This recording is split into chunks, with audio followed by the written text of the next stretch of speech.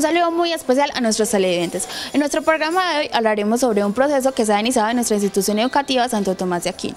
Se trata sobre la resignificación del, del proyecto educativo institucional. Para ello tenemos un invitado muy especial, el señor Sergio Castrillón Flores, el rector de la institución desde hace dos años y dos meses.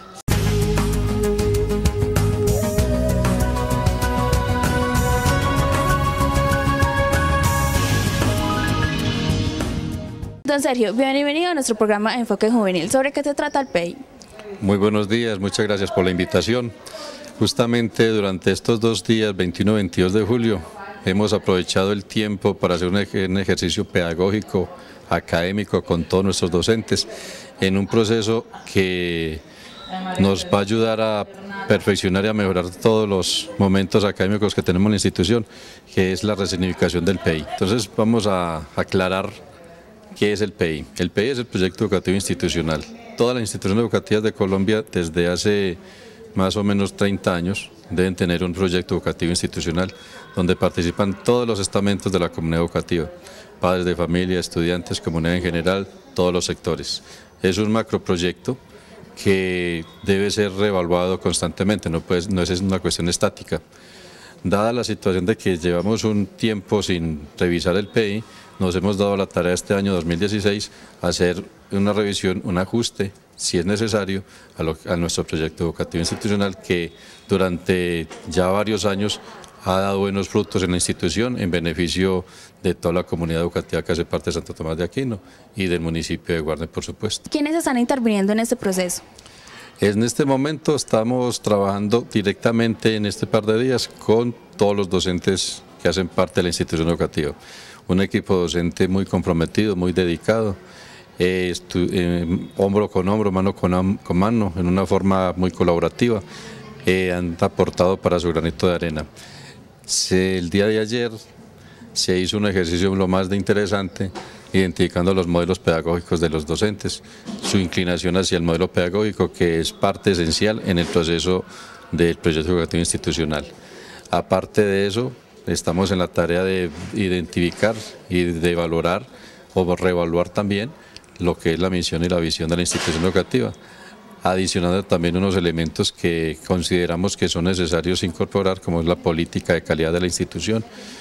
A pesar de que somos una institución, y no el término a pesar no es peyorativo, sino que somos institución oficial, que no tenemos los procesos de las instituciones privadas, tenemos unos desempeños a la parte muchas de las instituciones privadas. Entonces, creemos que es urgente y necesario también definir unas políticas de calidad que nos permitan constantemente eh, proseguir en esos puntos de, de, avance hacia la excelencia que estamos buscando. ¿Y qué estrategias se están llevando a cabo para la resignificación de este proceso?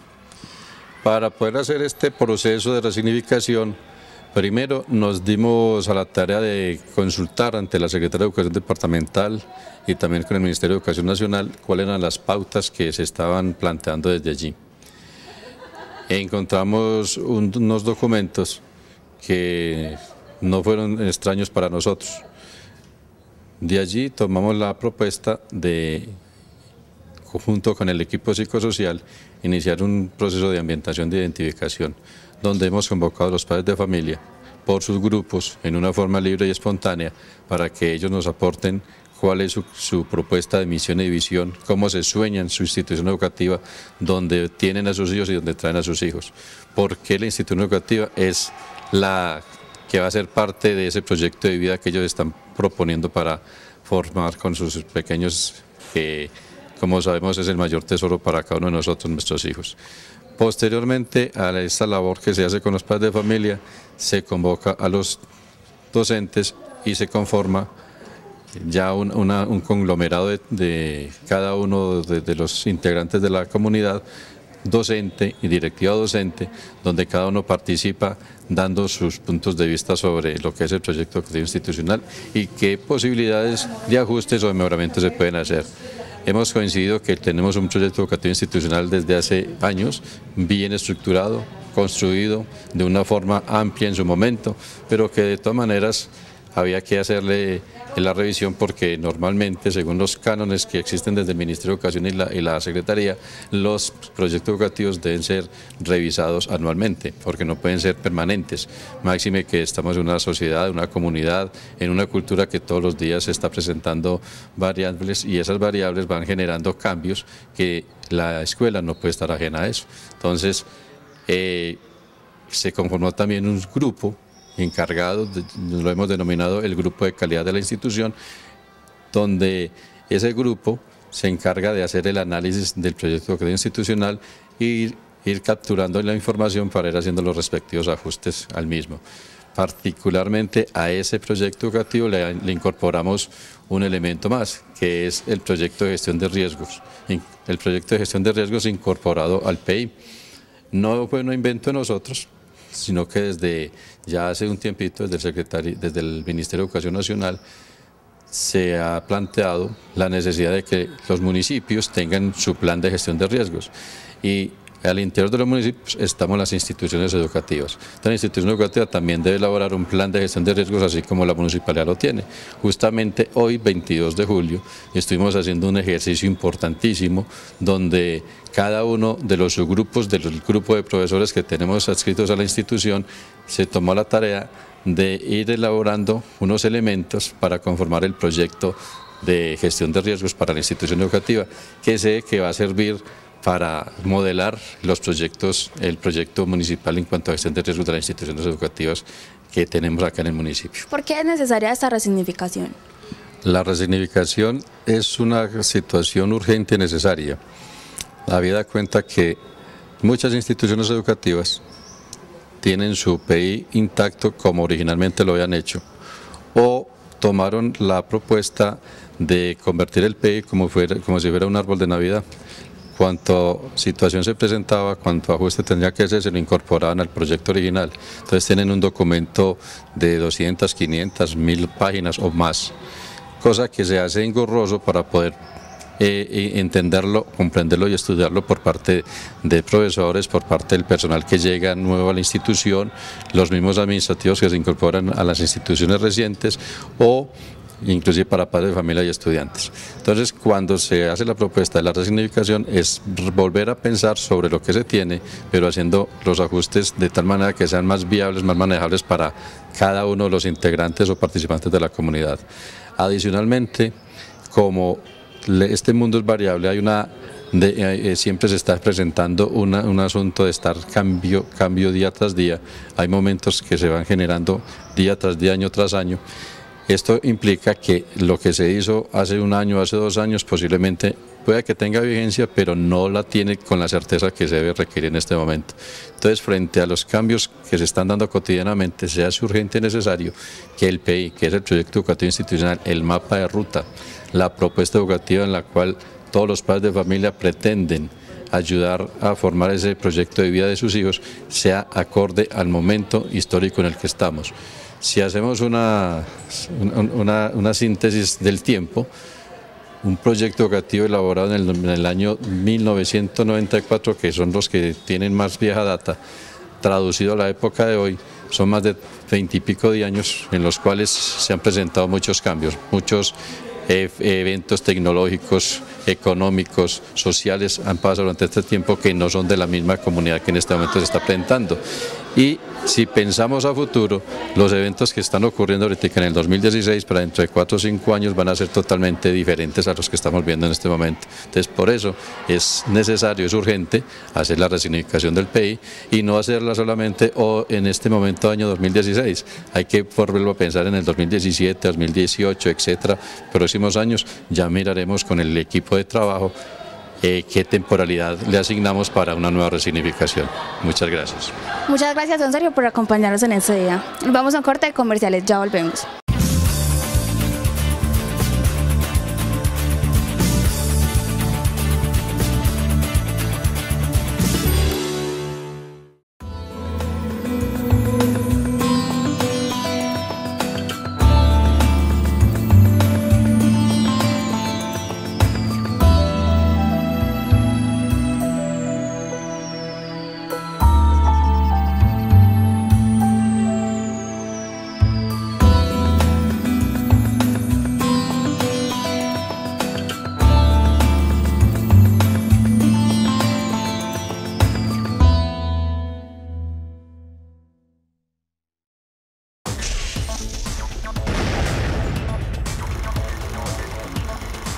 Conoce la historia del cine colombiano contada por personajes que tuvieron que ver con los comienzos de esta unión del arte y la técnica en el país.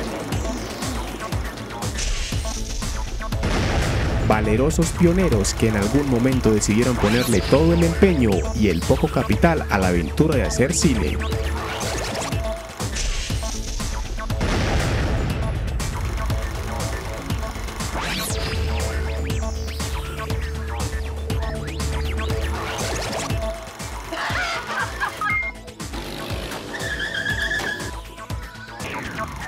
Una serie dividida en 14 capítulos que cambiará nuestra manera de ver la realidad del arte cinematográfico.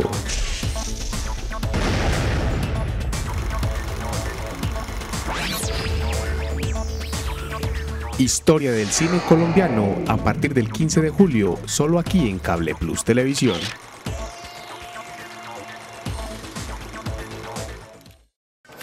¿Sí ve? Paz con impunidad. No, Inocencio, le están mintiendo. Todos los guerrilleros que hayan cometido delitos graves serán juzgados y sancionados. Además tendrán que decir la verdad y reparar a las víctimas. Y los que no reconozcan su responsabilidad pagarán hasta 20 años de cárcel. No seas inocencio. Infórmate en www.mitosyrealidades.co y cuéntale la verdad a los demás.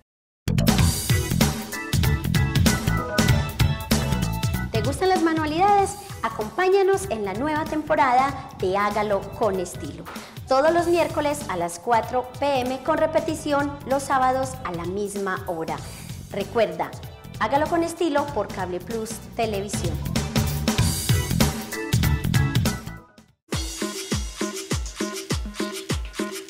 Hola, me llamo María Gamboa y soy la directora de Mateo. Les quiero contar que esta película nace de una corazonada al escuchar al padre Francisco de Rú hablar del poder de la dignidad y de la paz en el Magdalena Medio. Y al escucharlo yo quise entender qué quiere decir eso, qué quiere decir la construcción de paz en el día a día, en el cotidiano, en los gestos que hacemos todos los días. Mateo es la historia de un joven que gracias a su comunidad y gracias al arte va a poder encontrar soluciones pacíficas y, y alternativas al conflicto en el que él está metido.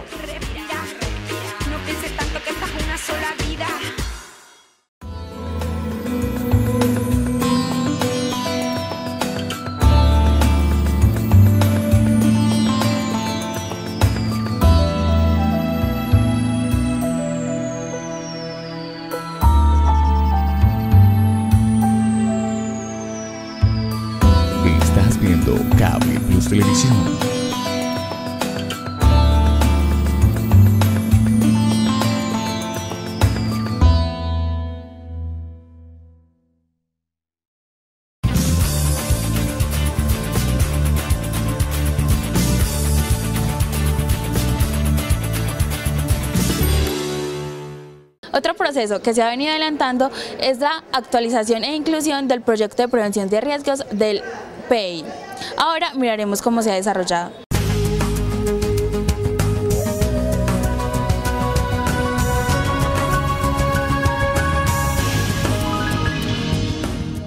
Vamos a socializar el trabajo que han hecho los profesores en equipo sobre este proceso. Nosotros nos correspondió la caracterización del ambiente social de la escuela, o sea, de nuestra institución educativa.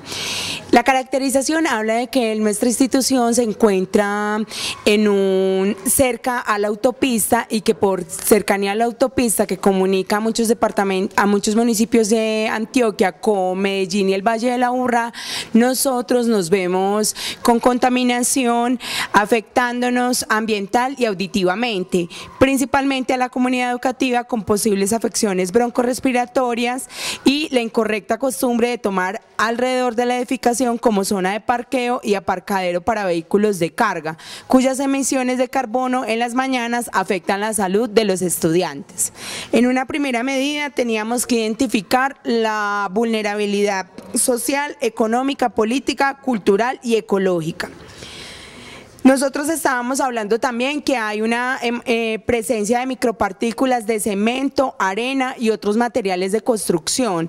Debido a la cercanía de la institución con las construcciones de las nuevas bodegas y otros, em, pues otras construcciones de vivienda, de nuevas viviendas.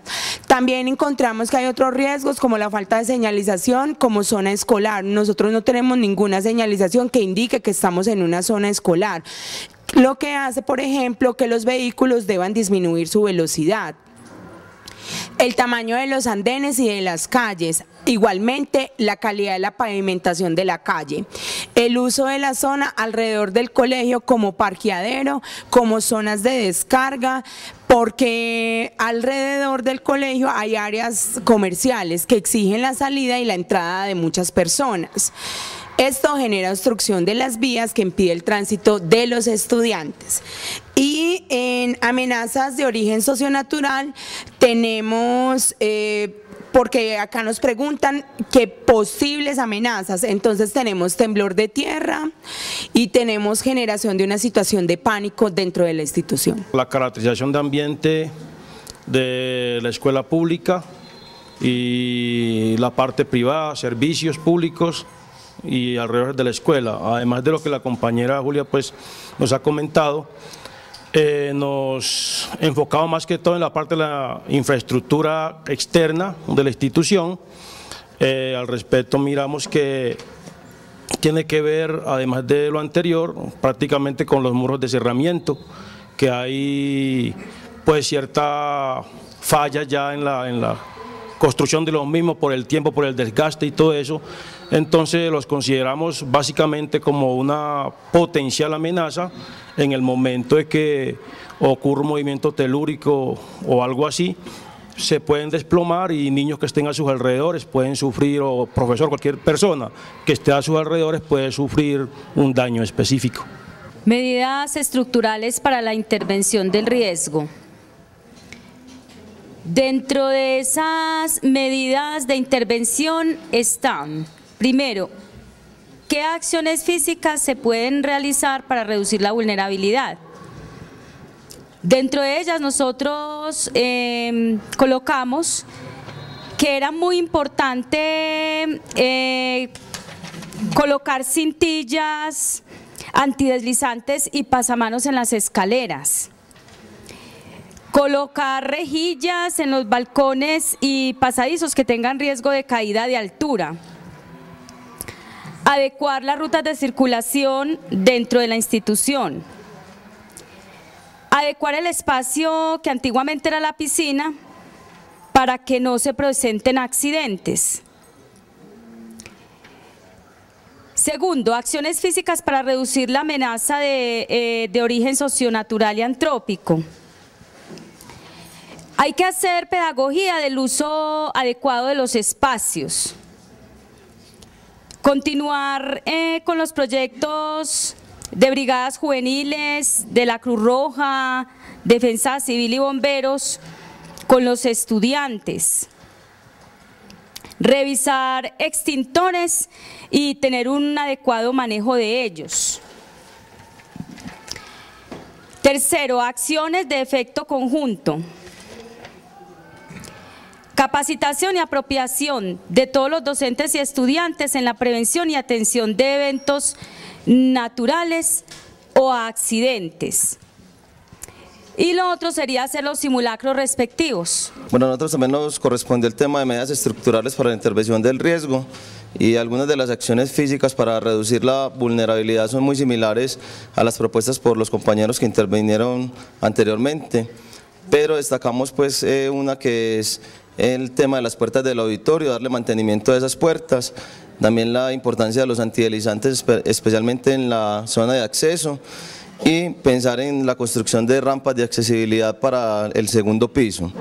Frente a las acciones físicas para reducir la amenaza de origen socionatural antrópico, pensamos que es importante la intervención con el tema del barrismo, tanto al interior de la institución como la intervención que hacen por fuera de ella, especialmente cuando se presentan los partidos de los equipos pues, a los que siguen, el tema del manejo de y de pronto el riesgo de, estupefacientes y el consumo de los mismos y quizás la circulación y venta de, estupefacientes eh, tanto al interior como por fuera de la institución.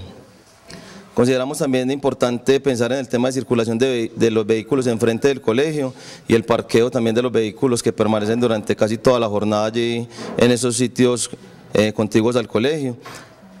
Y eh, los pasamanos pues, del bloque de la institución, sobre todo el uso que se le da a veces por parte de los estudiantes que utilizan esos pasamanos, esas zonas del segundo piso como espacio de descanso y se sientan ahí incluso a riesgo de su integridad.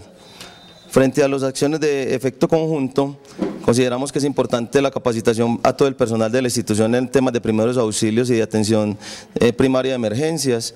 También es importante la realización de simulacros de, evacuación en caso de emergencias y la formación permanente en riesgos y uso de rutas de evacuación en los estudiantes, ojalá transversal a todas las áreas y en todos los momentos de clase. Buen día. A nosotros nos corresponde el Directorio de Servicios Externos de Respuestas a Emergencias. Pues simplemente, o sea, es una cantidad de números de todas las localidades a las que uno debe acudir, como el hospital, la defensa civil, la policía, o sea, tener siempre a la mano ese directorio, pues, de todas esas emergencias a las que podemos acudir a todos esos centros de emergencia. Pero lo más importante de esto es que todo estudiante, o sea, la institución en sí debe tener todo esto plasmado en ciertos lugares, que visible hacia todos. Los estudiantes igual, uno como docente debería estarles o hacerles escribir en el cuaderno todos esos números de teléfono uh, y enseñarles cómo utilizarlos, porque hay varias cosas. Uh, uno en el celular debe tener en emergencia o la aplicación de llamadas de emergencia, debe tener todos esos números de teléfono anotados. Igual debe tener uno que es uno de los más importantes, el de uno o el acudiente de uno o a quien puedan acudir si uno tiene un accidente. Porque por sí, cuando uno mira o auxilia a una persona, mira en los contactos de emergencia y ahí sale a quién llamar en caso de emergencia. ¿Sí? Que uno debería de tener eso. Y lo otro es que esos números... Uh, cuando uno llama a un centro de emergencia, a la defensa civil, a los bomberos, a cualquiera de estas entidades, uno de por sí debe de dar primero el número de teléfono, eh, su nombre completo y el número de teléfono del cual uno está llamando, para que en ese momento ellos sepan que es una verdadera llamada, o sea, es algo que ellos tienen para detectar que deben acudir a eso. Si uno siempre dar el, número, el nombre completo y el número de teléfono del cual se está llamando inmediatamente ellos le ponen atención completa al que está llamando para la emergencia, esa es una de las cosas principales. Bueno, a mí me correspondió los equipamientos contra incendio. En el colegio tenemos un hidrante que está en la parte exterior, debe estar en buenas condiciones y lo maneja el municipio. También tenemos extintores tipo A, tipo B y tipo C distribuidos por todas las dependencias de la institución. También tenemos extintores para equipos eléctricos que están en la sala de sistemas y están, están buenos. La institución no cuenta con detectores de humo, los cuales son muy necesarios en el colegio, pero en especial en los laboratorios, salas de sistema, biblioteca y oficina. Al igual que los rociadores, pues si se tienen en todas las aulas, oficinas y laboratorios, tienda escolar y restaurantes, se podría minimizar la emergencia. Bueno, nos correspondió equipamiento para primeros auxilios. ¿Con qué contamos? Contamos con una sola camilla, pero requerimos de cinco camillas. Eh, responsable, proyecto de prevención y desastres. El plazo es a corto plazo porque se requiere, porque a diario eh, se presentan estos accidentes. Eh, inmovilizadores cervicales, contamos con tres maletas, pero requerimos 10 equipos más. El mismo responsable es proyecto de prevención y desastres, coordinación y también a corto plazo. Inmovilizadores para extremidades. contamos con tres maletas, pero requerimos 10 equipos más. El responsable es proyecto de prevención y desastres y también coordinación a corto plazo. El botiquín, no contamos con botiquín y este sí que es indispensable en nuestra institución. Requerimos 25, uno para cada aula a corto plazo y también en cada oficina debe de haber un botiquín. Máscaras, eh, no tenemos máscaras. Contamos que requerimos 10 20 equipos. Responsable, laboratorio de física, química a corto plazo. En necesidades prioritarias, las cantidades de los equipos para los primeros auxilios se requieren de acuerdo al número de estudiantes o comunidad educativa tomasina en general, ya que los riesgos de accidentes en estudiantes son efecto de la cotidianidad, por lo tanto, urge a primera instancia los botiquines en lo posible uno por cada aula de clase y en cada oficina. En cada salón puede asfixiarse o venirse la sangre en vía nasal. Por lo tanto, se requiere primeros auxilios y el recurso físico del botiquín. Al igual que en los espacios libres o de descanso, ocurren caídas o golpes que es habitual en la jornada escolar. Se requiere el botiquín para el simple lavado o desinfección de los cuerpos extraños como arena, polvo y mugre en general. Los demás equipos de primeros auxilios son más limitados, ya que pueden o no ocurrir y son de poca incidencia, pero no se puede descartar la asistencia en nuestra institución, ya que las actividades son interdisciplinarias.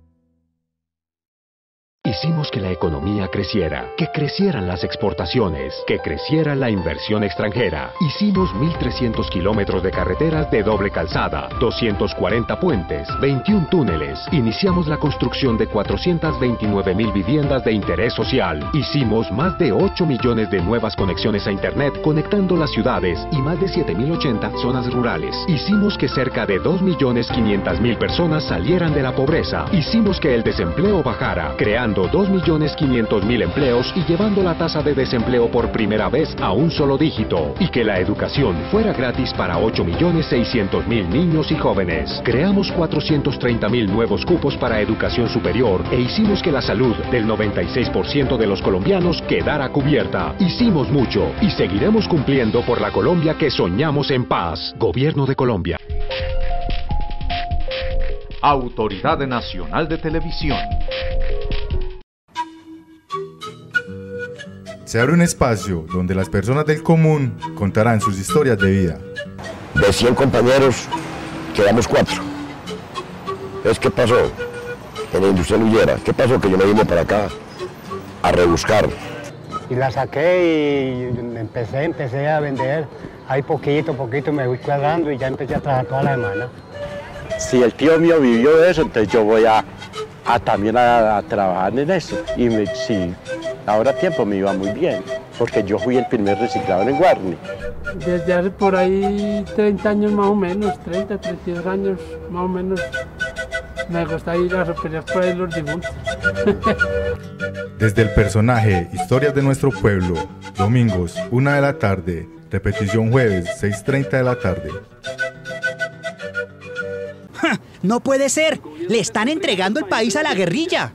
No, Inocencio, eso no es cierto. Las FARC no van a manejar este país, todo lo contrario. Si se firma la paz, las FARC van a desaparecer como grupo armado y podremos vivir más tranquilos. Lo único que nos traerá la paz serán cosas buenas. No seas Inocencio. Infórmate en www.mitosyrealidades.co y cuéntale la verdad a los demás. Si canto así palabra tras palabra, no me alcanzará el aire para decir, para sentir lo que sigue. Necesito respirar, necesito respirar. Y así como para cantar, necesitamos respirar Es importante que aprendamos a respirar para todo lo demás en la vida, respirar, sentir el aire, soltar el aire antes de actuar. Hola, soy Marta Gómez y me uno orgullosa a la campaña de las Naciones Unidas porque Colombia respira paz.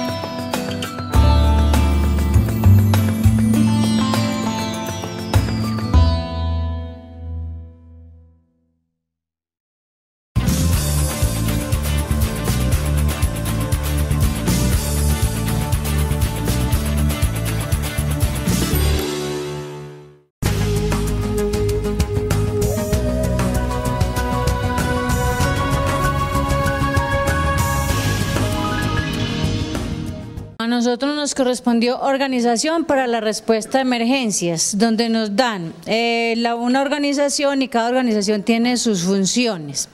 Eh, para eso nos correspondía dar eh, nombres responsables y suplentes. las organizaciones son las siguientes, coordinación de la respuesta escolar a emergencias, brigada de, de evacuación, brigada de primeros auxilios, brigada contra incendios, brigada brigadas control tráfico de vehículos, brigadas servicios sanitarios y dice otras brigadas que se pudieran, se puedan pues eh, implementar dentro de la institución.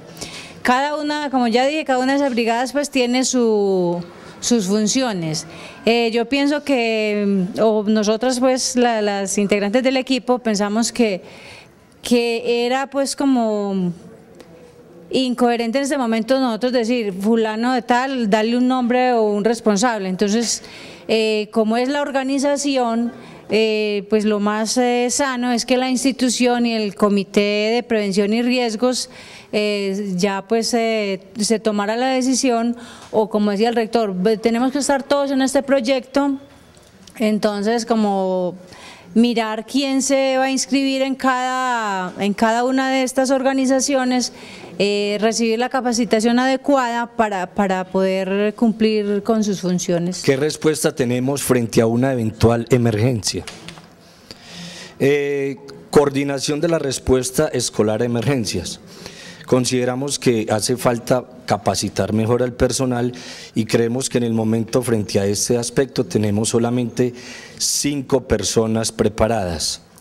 Número de personas a capacitar, eh, creemos que todos los docentes debemos recibirla, dos estudiantes por grupo y todo el personal administrativo, por supuesto.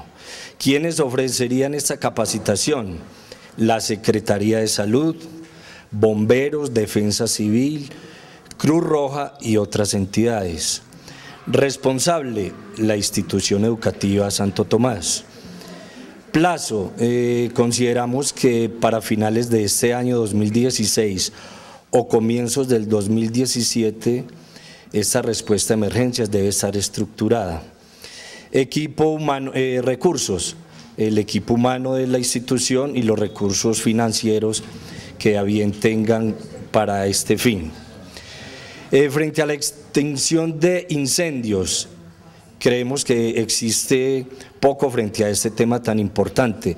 Hay algunos extintores ubicados en diferentes sitios del colegio, pero creemos que hay mucho, eh, todos debemos estar, eh, tener conocimiento frente a este manejo. Eh, personas a capacitar, igualmente todos los docentes, estudiantes y personal administrativo. Eh, ¿Quiénes nos ofrecerían esta capacitación? Pues esperamos contar con los bomberos y la defensa civil. Responsable igualmente la institución educativa. También en el tiempo o plazo establecido creemos que es finales del 2016 y comienzos del próximo año. Frente a los primeros auxilios, también consideramos de nuestro equipo de trabajo que existen pocas personas preparadas frente al tema Eh, obviamente los profesores de educación física, por su manejo y por su, eh, el personal que manejan, pues son los más indicados para esto, que afortunadamente ellos tienen estos conocimientos. Pero frente a los primeros auxilios, eh, todo el mundo debe estar capacitado. Sabemos que una vida se puede salvar por un pequeño detalle que haya sido presentado a tiempo. En la evacuación mm, creemos que no estamos muy preparados para este fin y para esta actividad, para esta eventualidad tan importante. Que, ¿A quienes debemos capacitar? Obviamente todo el personal educativo debe estar preparado para cualquiera de estas eventualidades. ¿Quiénes nos ofrecerían esta capacitación? la defensa civil y los bomberos. Y los responsables serían obviamente la institución educativa. Estamos elaborando este, este formulario con mucha expectativa y con la esperanza de que al finalizar este año o al comenzar el próximo tengamos ya esto eh, finiquitado y determinado porque esto nos puede salvar de cualquier tremenda eventualidad. ¿Qué se busca, qué buscamos con el sistema de alarmas? Buscamos que debe cubrir todas las zonas donde hay no solo estudiantes, sino también empleados. Eh, debe tener un sonido diferente al sonido del cambio de clases. Fuera de eso, debe ser exclusiva en caso de emergencia. Debe ser no solamente conocida, sino también reconocida después de las prácticas por toda la comunidad educativa. Y el plazo de instalación y verificación consideramos que debe ser inmediata.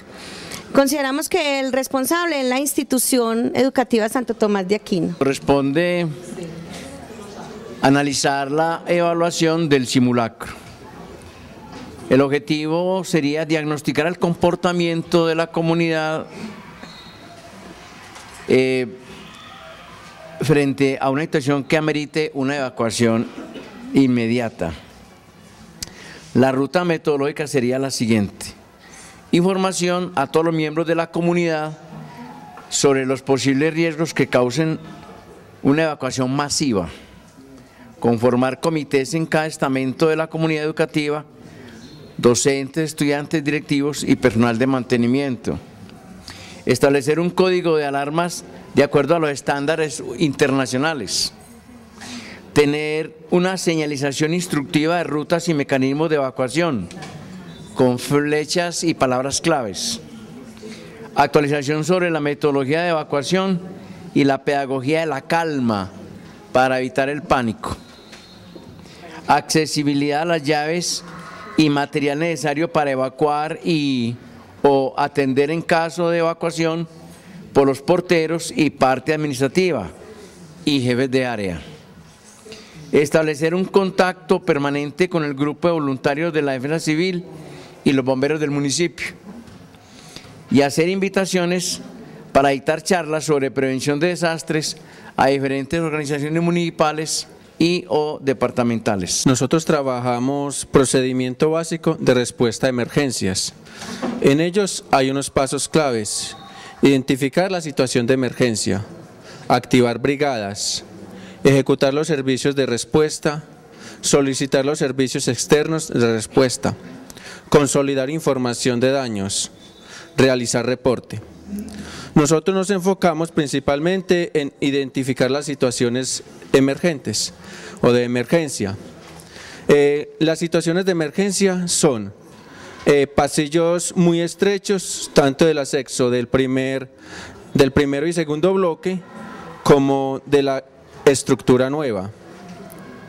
Escalas ocupadas por los estudiantes, la ubicación del restaurante escolar y de la tienda, posibles explosiones por químicos o gases inflamables en el laboratorio de ciencias, posibles explosiones por manipulación de pipetas de gas en restaurante y tienda escolar, inundación al interior de la institución por taponamiento de cañerías o tuberías, poco espacio de recreación para los estudiantes. Ocurrencia de sismos por la ubicación geográfica. Salidas de evacuación del segundo y del tercer piso. aglomeración de vehículos y de padres de familia a la entrada y salida de la institución. Y la cantidad de palomas y roedores que hay en la institución también afectan y son situaciones de riesgo. A nosotros nos tocó el reporte de daños, entonces tenemos fecha del evento, quién lo diligenció y el teléfono. Entonces dice, fenómeno que está asociado a la emergencia, eh, lo hicimos en base a un sismo que hubo el año pasado, entonces decimos que el fenómeno en este caso eh, es un sismo. Eh, descripción general del evento, un fenómeno natural, daños y pérdidas ocurridas, número de personas que se afectaron y tipo de personas. No hubo ningún tipo de personas, ni estudiantes, ni docentes, ni personal administrativo, ni personal de servicios generales, ni directivos, ni visitantes. Tipo de servicios de respuesta solicitados, no se llamó a ningún tipo de servicio. Eh, tipo y número de edificaciones afectadas, no, no hubo ninguna afectación en la estructura de la institución. Descripción de los daños en las edificaciones no aplicaría entonces en ese caso. Descripción de necesidades. Vimos entonces que se necesitan rutas de evacuación claras, puntos de encuentro, alarma de emergencias, línea de atención inmediata, personal capacitado para las emergencias y realizar simulacros.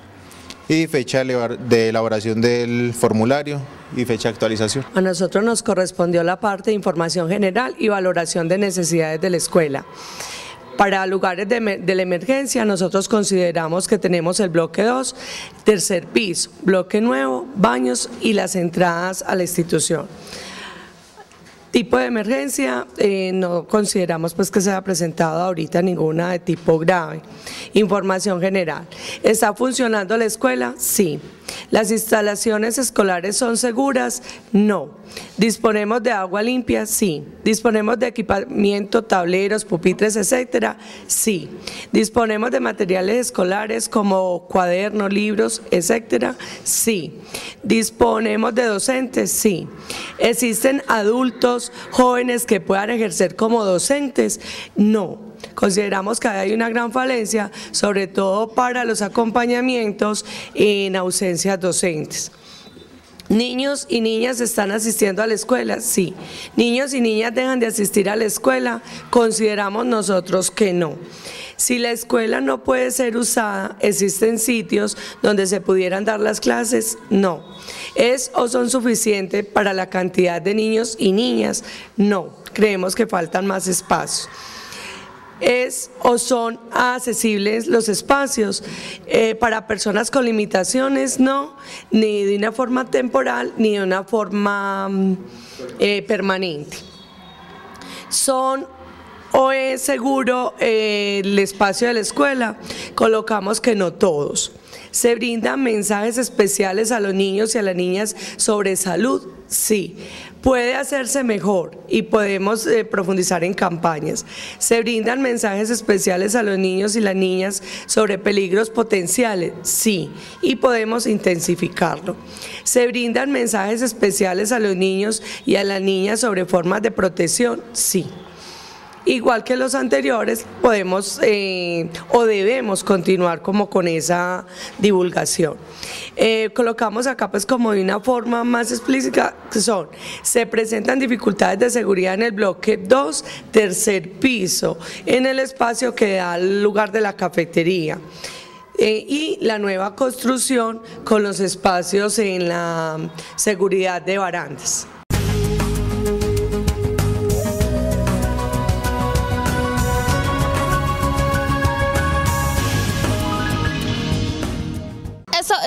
Nos vemos en una próxima emisión de nuestro programa Enfoque Juvenil. Recuerden seguirnos en nuestras redes sociales que aparecen en pantalla.